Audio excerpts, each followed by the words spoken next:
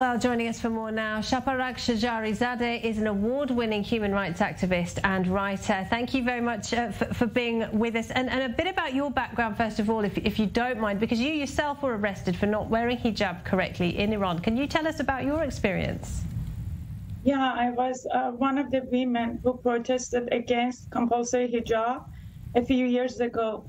And actually, I was beaten up badly in the same deten- detention center as Mahsa, uh, like uh, four and a half years ago, uh, interrogated uh, mm, in that uh, building and uh, like sent to jail in solitary, soli- solitary confinement. Um, and I experienced the, the most frightening moments of my life during that time because of pro- protesting for the job. So, how do you feel then when you see the images of these women of all ages, but mostly young women, taking to the streets in defiance of this regime? And did you expect them to still be out on the streets? What is it, almost two weeks later? Um, actually, as uh, you can understand, I'm so worried, but at, because I know how brutal this regime would be, but at the same time, I'm in awe uh, with my sisters in Iran like having many women with me in the streets uh, without veil was my uh, dream. But uh, now I'm I'm seeing like thousands and thousands thousands of women in the street burning. Uh, the symbol of uh, suppression of women, this symbol of systematic violence against women in that country uh, is is incredible. I have never dreamed of seeing these like videos and footages, and I'm dying to be there with them, fighting this government.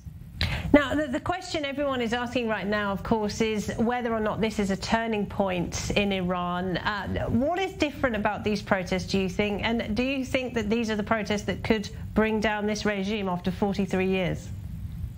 Uh, we are hopeful.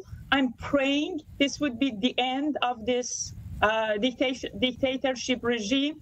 But at the same time, even even if this uh, like um, demonstration uh, mm, uh, suppressed by the government, I know definitely this would be the beginning of the downfall of this regime.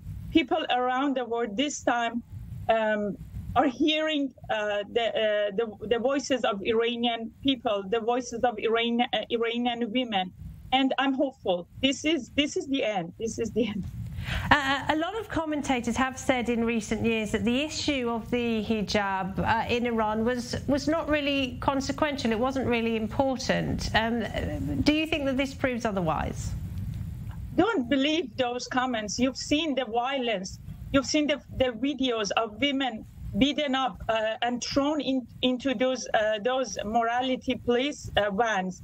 Um, this is uh, like the government, uh, apart from uh, not having rights, equal rights in Iran, this government has been violence against women in the streets every day.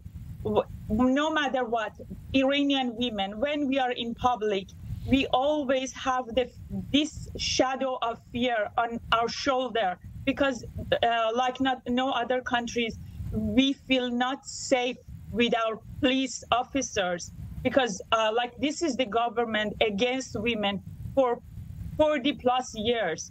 No hijab is the identity of this uh, islamic regime. And uh, this is it not having hijab not having forced hijab is the end of this government is the end of their ideology and if uh, like and i'm I'm happy that hijab, forced hijab, protest against for, forced hijab, and also protest against this government is is is going to be uh, downfall of the government. Uh, mm, we've been harassed for years, for years. Shaparak Shajarizadeh, thank you very much indeed for talking to us.